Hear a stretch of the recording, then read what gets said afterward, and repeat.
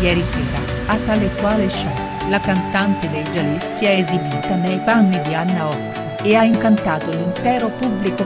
Una grande puntata, quella di ieri sera a tale quale show, uno dietro l'altro. I 12 artisti in gara si sono esibiti sul palcoscenico interpretando i più grandi cantanti italiani e mondiali, oltre a Roberta Bonanno, che ha assunto i panni dalla recentemente scomparsa Erika Franklin.